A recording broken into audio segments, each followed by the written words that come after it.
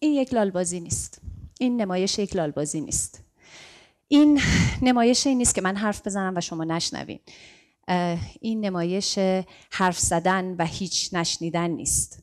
من در واقع دارم برای شما نمایش نمیدم. من دارم سعی می‌کنم که تصویری از اساره حرف زدن دو تا نسل رو پیش چشم شما مجسم کنم. نسل گذشته و نسل پیش رو. وقتی ما حرف می‌زنیم و نسل پشت سر حرف می‌زنه و نسل پیش رو هیچ چیزی نمیشنوه. وقتی ما حرف می‌زنیم و شما نمیشنوید. وقتی ما کلماتمون رو به سمت شما پرتاب می‌کنیم و کلماتمون در ذهن و در جان شما فرود نمیاد. این یک نمایش لالبازی نیست. این اساره حرف زدن یک نسل با نسل دیگره. وقتی که فقط ادای حرف زدن در میارن و واقعا حرف نمی‌زنن. واقعا کلماتشون به هم منتقل نمیشه.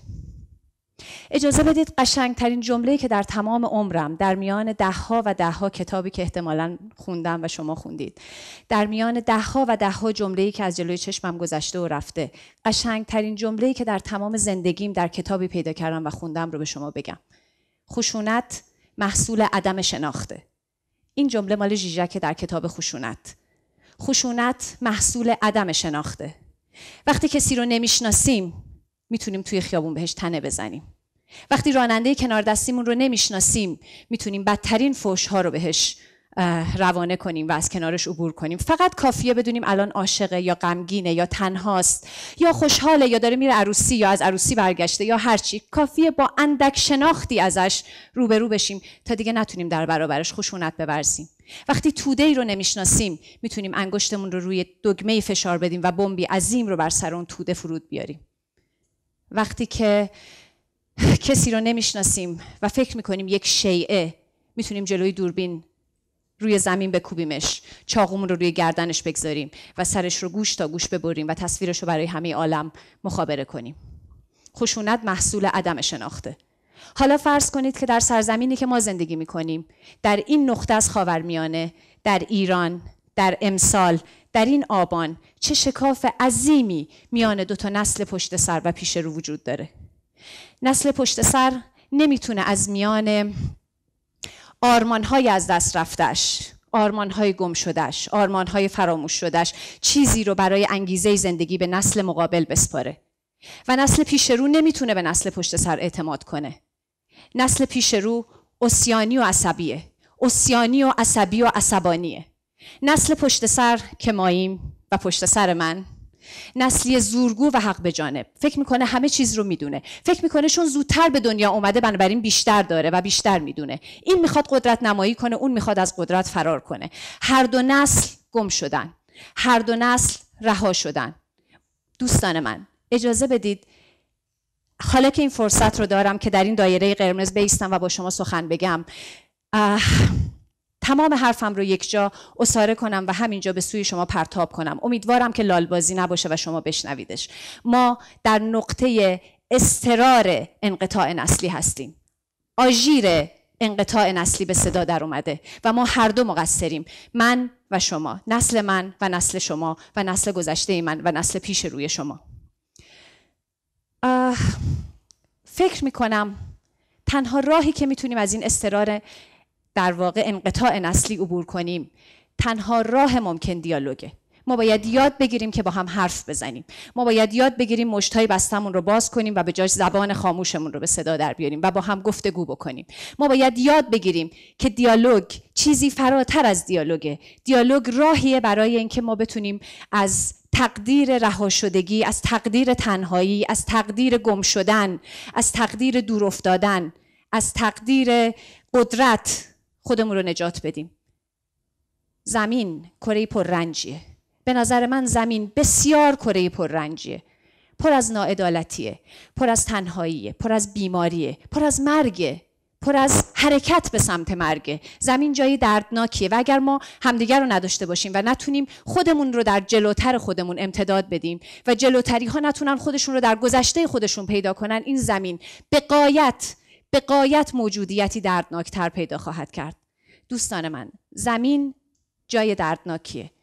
دیالوگ به نظر من تنها تنها و تنها و تنها درمانی است برای دردی که ما از تنهایی از رها شدگی از تنها ماندگی بر روی زمین می‌کشیم. دیالوگ به مسابه راهی برای پیدا کردن همدیگه نه پرتاب کلمات نه لالبازی. فکر می‌کنم به یک استوره قدیمی. فکر می‌کنم به یک استوره قدیمی به استوره خدای بابلی. شاید شما همه شنیده باشید. خدای بابلی قرنها و قرنها پیش وقتی که می‌خواد بدترین عقوبت رو بر مردمانی که نسبت به اون اسیان کردند روا بداره نه مرگ رو بر اونها میفرسته نه بیماری ها رو بر اونها مستولی می‌کنه نه اونها رو درگیر بلایای طبیعی می‌کنه نه سیل و طوفان به سراغشون میفرسته هیچ کدوم. در استوره خدای بابلی اومده. وقتی که خدای بابلی می‌خواد بدترین عقوبت ها رو نصیب مردمانش بکنه کاری می‌کنه که زبان همدیگر رو نفهمن. زبان از لحظه برج بابل به دو پاره به سه پاره به هزار پاره تقسیم و تبدیل میشه. خدای بابلی به درایت پیدا می‌کنه که بدترین عقوبتی نیست که مریض بشیم یا تنها باشیم یا هرچه. بدترین عقوبت اینه که نتونیم با هم سخن بگیم. بنابراین خدای بابلی کاری می‌کنه که زبانهای همدیگر رو نفهمیم. زبانهای همدیگر رو متوجه نشیم. پس به نظر من دیالوگ فقط دیالوگ نیست. دیالوگ عملی رهایی بخشه. عملی بر ضد تقدیر. ما می‌دونیم در تمام تراژدی های یونانی خوندیم که انسان به واسطه جدالش با تقدیر به انسان تبدیل میشه. وقتی تو با چیزی میجنگی معنای انسانیتت آشکار میشه. وقتی میجنگی انسان میشی.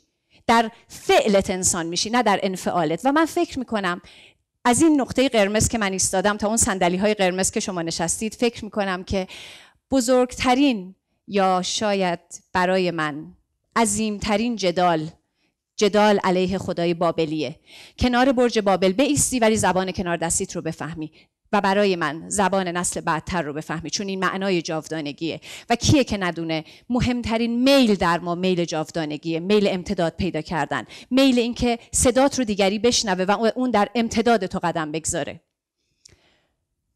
من یک پیش از هر چیزی یک معلم نمایشنامه نویسیم.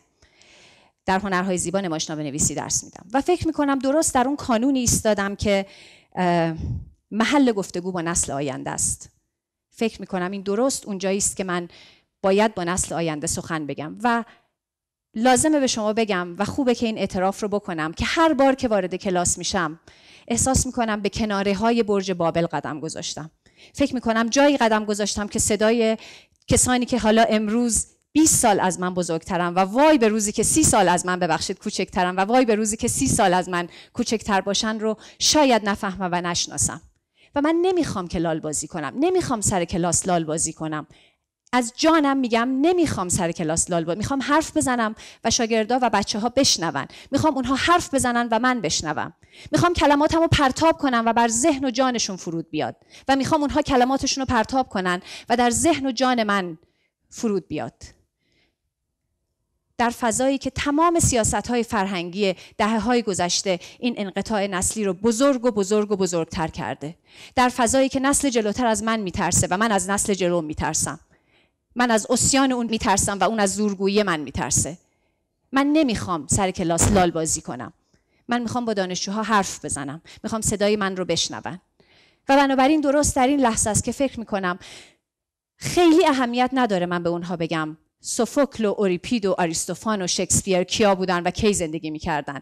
مهمه ولی اونها رو می‌تونن در کتاب ها پیدا کنن. مهم تفسیر منه مهم زبان منه مهم تلاش برای اینکه دو سو با هم گفتگو کنن و کلاس رو تبدیل کنن به مرکز ایدئال به مدینه فاضله گفتگو. من فکر می‌کنم کلاس مد... می‌تونه مدینه فاضله گفتگو باشه و ای کاش که کلاس مدینه فاضله گفتگو باشه. اما وجه دیگر من اینه که من یک نویسندم. من نمایشنامه نویسم. و باز فکر می‌کنم وقتی می نویسم هیچ چیزی برام مهمتر از این نیست که بتونم با کسانی که نمیبینمشون اما عمیقا احساسشون می‌کنم گفتگو کنن. باز میگم با نسل پیش رو. باز میگم با نسل آینده. سالها پیش شاید حدود هفت یا هشت سال گذشته من نمایشنامه نوشتم با عنوان متولد 1361 و درباره دختر بچه ای بود. که در 1361 به دنیا میاد. نمایشنامه از جایی آغاز می شد که دختر که اسمش توی نمایشنامه نوا بود یا هست در شکم مادرشه و داره به صداهای بیرون گوش میده. به صداهای دهه شست گوش میده. به صدای بمباران به صدای آژیر قرمز به صدای رادیو عراق. به صدای رادیو آمریکا به صدای رادیوهای بیگانه به صدای سرودهای جنگی به صدای هایده به صدای خواننده ها به همه صداها به مجموعه ای از صداهای دهه است و بعد دختر به دنیا می اومد و اپیزودهای بعدی این دختر رو در بره های مختلف زندگیش می‌دید. و این برای من فقط و فقط یک راه و یک تلاش بود برای درک کسانی که یک دهه از من کوچکترن. بعد فکر کردم و, و امروز فکر می کنم شاید بعد نمایشنامه‌ای بنویسم با نام متولد 1371 و متولد 1381 و به زودی متولد 1391 و به این واسطه به خودم یادآوری کنم نسلها دارن میان. من اولین و آخرین آدم روی زمین نیستم. من کسی هستم که با بعدیم امتداد پیدا می کنم من کسی هستم که در بعدیم امتداد پیدا می کنم بنابراین فکر می کنم به کتابخونه خونم. و پا می‌گذارم به کتابخونه خونم و فکر می‌کنم که اینجا محل درخشان عظیم و دوست داشتنی گفتگو با های پیشینه. و فکر می‌کنم که اگر آنا کارنینا نوشته نشده بود نسل قبلی به من نگفته بود که اون هم درباره عشق همین فکر رو می‌کنه. همینقدر ویرانگر و همینقدر لذت بخش اگر اودیسه نوشته نشده بود نسل قبلی به من نگفته بود که همه در آرزوی بازگشت بخوانن هممون وقتی دست در جیب می‌کنیم عزیزترین چیزی که توی دستمون میاد کلید خونه است. فکر می‌کنم اگر هزار یک شب هزار یک شب عزیز و محبوب نوشته نشده بود ما هیچ وقت نمیفهمیدیم که کسانی با هوشی غریب در نسلهای گذشته فهمیدن که داستان یک کنش رهایی بخشه. روایت آزاد می‌کنه. ذهن و جان رو آزاد می‌کنه و امکان گفتگو رو فراهم می‌کنه. حتی امکان گفتگوی میان ملک خونخوار و دختری بیپناه مثل شهرزاد. فکر می کنم اگر ندبه ندبه بیزایی نوشته نشده بود ما متوجه نمی شدیم که زنان به اصطلاح روسبی یا زنان بیس پناه رو میشه دوست داشت. و فکر نمی کردیم که حالا ما در نقطه صفر زمینی و آیا میشه اینها رو دوست داشت یا دوست نداشت. اینها رو دوست داشتن قبلا. بیزایی به ما گفته میشه دوستشون داشت. از این لحظه ما باید اون این دوست داشتن رو جلو ببریم. عباس نلبندیان نمایشنامه نویس اگر هازا حبیب الله رو ننوشته بود ما نمیفهمیدیم که همیشه روشنفکر منفعل همیشه در مزان آسیب و در مزان اتهامه. اگر کتاب های دیگه نوشته نشده بود اگر بوفکور اگر سووشون اگر بار هستی اگر جاودانگی اگر در جستجوی زمان از دست رفته اگر اگر اگر همه اگرها. به این ترتیب کتابخونه برای من تبدیل میشه به کهکشان گفتگو با های پیشین. و فکر می‌کنم مهمترین وظیفه این نویسنده ای نیست که ایگو انباشتش رو به دیگران پرتاب کنه اگرچه این کار خیلی سخته و تمرین می‌خواد ولی وظیفش این نیست. وظیفش اینه که تلاش کنه که با نسل بعدی سخن بگه با نسل بعدی گفتگو بکنه. اجازه بدید که خاطره ای رو برای شما تعریف بکنم. قریبه به ده سال پیش یک عصر پاییزی فکر می‌کنم همین آبان ماه من دارم درباره ادیب شهریار نمایشنامه اثر سوفوکل برای بچه ها حرف می‌زنم. فکر می‌کنم خیلی خوب دارم حرف می‌زنم. کلاس تموم میشه ساعت هفت بعد از ظهر تقریبا هوا تاریک شده همه بیرون رفتن. یک دانشجو یک پسر جوان خجالتی کمرو که هرگز سر کلاس حرف نمی‌زنه باقی مونده. من و اون سر کلاس تنهایی و هوا کمی سرده و چراغهای دانشکده رو به خاموش شدنه. اون پیش میاد و به شدت خشمگینه. به شدت از من عصبانیه. و به من میگه که مشتشو میکوبه روی میز و به من میگه که من از یک شهرستان دوردست اومدم. من رنگ موی خواهرم رو تا حالا ندیدم. و شما به من میگید ادیپ با مادرش ازدواج کرد و چهار تا بچه به دنیا آورد. شما چی دارین به من میگید اول یه جای دیگر رو حل کنیم و بعد بیاین این رو به من بگین. هر آنچه که من بگم تو دانشجوی تئاتری تو باید اینا رو بشنوی فایده نداره. من نتونستم باش گفتگو کنم. من نتونستم با تمام کلاسم زبانی مشترک پیدا کنم. من نتونستم. و اون روز وامیستم و با بهت بهش نگاه می‌کنم و فکر می‌کنم نه من نتونستم. من معلم خوبی نیستم. اینکه می‌دونم کافی نیست. اینکه اینقدر یا کمتر یا بیشتر می‌دونم به عنوان یک معلم کفایت نمی‌کنه. من نتونستم گفتگو کنم. درست سه روز پیش وارد کلاس میشم. و بچه ها دارن سرخوش راجع به یک موضوعی حرف می‌زنن. میگن طرف خیلی ورقه. درست همون حس برای من پیش میاد. و میستم و با بهت نگاه می‌کنم میگم بچه طرف ورقه یعنی چی؟ قش قش قش میخندن به اینکه من نمی‌دونم طرف ورقه یعنی چی. و بعد فکر می‌کنم که باید واستم و با بهت باز بهشون نگاه کنم و سعی کنم که اونها برای من توضیح بدن. و فکر می‌کنم هنوز همینه. فکر می‌کنم نسل ما باید واسطه نگاه کنه به نسل شما چون اغلبتون جوانید و من دارم می‌بینم. به نسل شما نگاه کنه و صبر بکنه و از خودش بپرسه که چی در سرتون میگذره. حرف حسابتون چیه؟ باید بشناستتون. و شما باید تلاش کنید که ما رو بشناسیم. ما باید همدیگر رو بشناسیم. این سرزمین سرزمینی که ما در خاکش زندگی می‌کنیم پر از تضاد هاست دوستان من بیان یک تضاد اضافه بهش اضافه نکنیم. ما می‌تونیم جلوی این رو ما می‌تونیم این نقطه استرار نسلی رو پیشا پیش نه در نقطه آژیر قرمزش جلوش رو بگیریم. من فکر می‌کنم نسل پیش روی من بسیار بسیار جسوره. شجاعه. برادر من که از من 6 سال کوچیکتره اولین بار گفت من تو اتاقم تلفن می‌خوام. بعد من جرئت کردم. من که 6 سال از اون بزرگتره صدای آرامی از من بیرون اومد که ببخشید میشه منم یه تلفن داشته باشم؟ نسل جلو نسل شما جلو میره راه ها رو باز می‌کنه و نسل من به شما نگاه می‌کنه و از جسارت شما از اسیان شما تعجب می‌کنه. راهش این نیست که جلوی این اسیان گرفته بشه. راهش اینه که ما درک کنیم اسیان شما رو و شما به ما اعتماد کنید. نسل شما رو نمیشه با اطلاعات مرعوب کرد. دیگه نمیشه سر کلاس با اطلاعات کسی رو مرعوب کرد. چون هر کدوم یه دونه از اینا تو دستتونه. که کلمات از زبان من بیرون نیومده می‌زنید میگین نه. 405 پیش از میلاد نه 406 پیش از میلاد. و من همونجا میگم اوکی باشه من تسلیمم بچه ها شما بیشتر می‌دونید این این همه چیز رو تموم کرده. نسل شما رو نمیشه با تصویر پسر خوبه دختر خوبه گول زد. شما فیسبوک رو دارید. توی فیسبوک تمام خودتون رو آشکار می‌کنید. بی محابا آشکار می‌کنید. و من گاهی وحشت می‌کنم از این میزان آشکارگری خودتون در یک فضای مجازی. فکر می‌کنم وای مگه میشه؟ برای شما تصاویر خودتون رو می‌شناسید. نمیشه به شما گفت شما بیایید من به شما یک تصویر مثالین از دختر خوبه و پسر خوبه بدم و بیاین خودتون رو شبیه این کنید. نمیشه. نسل شما رو نمیشه با قدرت مرعوب کرد. با نسل شما باید گفتگو کرد. نسل ما رو نمیشه با بیاعتمادی پس روند ما وجود داریم. باید با ما گفتگو کنید. بیایید با هم گفتگو کنیم. دوستان من در این نقطه استرار نسلی به شما پیشنهاد می‌کنم و به خودم پیش از شما. اینکه ما در نقطه ایستادیم که آژیرهای قرمز انقطاع نسلی به صدا در اومده. ما چاره ای نداریم جز اینکه گفتگو کنیم. و گفتگو یعنی معجزه. شما باید گفتگو کنید تا معجزش رو پیدا بکنید. حالا ایده یک نمایشنامه به ذهن من می‌رسه. ایده نمایشنامه ای که امیدوارم به زودی کامل بشه. صفی عظیم مقابل پلی بسیار عظیم.